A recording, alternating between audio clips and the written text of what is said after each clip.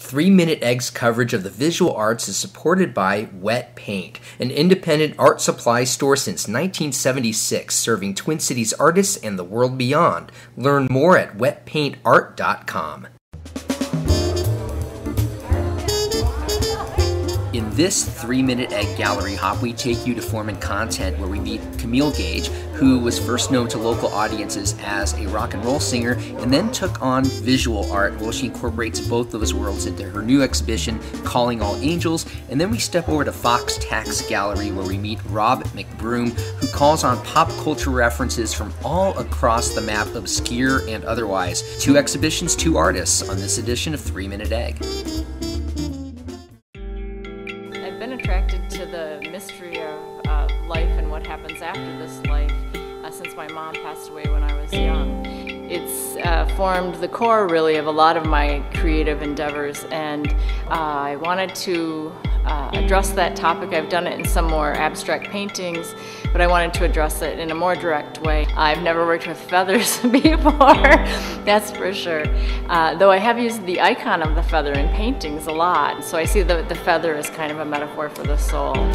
I knew that the, the three pieces that I, the three main pieces I did for this show, uh, the robe for Judith, the interactive piece, which is the title piece, Calling All Angels, and the music piece were physically not going to take up much space. And so I wanted to have some other work that might complement what I was doing.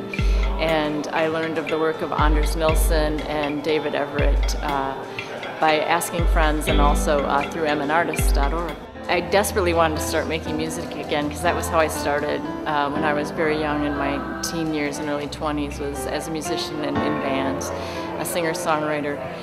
I really missed it and wanted to find ways to reintegrate it into my work. I decided to make a soundtrack for an exhibition just like there's soundtrack for movies and that the music and the sounds would inform the work and uh, complement the experience of the viewer when they're in the gallery. Uh, right after high school, I was doing. I was really interested in surrealists, and I was interested in pop art. As time went on, I started putting in things that I was interested in, which was a lot of like nerdcore things like Star Trek and like car logos and that kind of thing. I enjoy the graphic design end of things too, and I shouldn't just make it really an autobiographical thing. And so as time went on, I just started incorporating more and more just for the design elements, these logos, because they mean things to other people.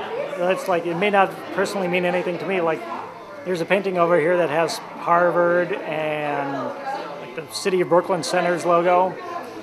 And it's a lot of really local specific, and then because of the internet, that just blasted everything open, and you get all these things that has no real relevance to most people's lives here in the U.S but it's in the broader context of a worldview. And so I think of it as a kind of uniquely American art just because we peddle so much influence everywhere. This is a continuous story. This was uh, this was Ed Lear's uh, po- nonsense poem from back then. I'm a big believer in the random world, where things just happen simply by coincidence, and it happens a, a lot. And I don't know if it's just because you know, we just live in that such a pop culture centered world. But there's no real reason other than where it, it, it fits in design wise.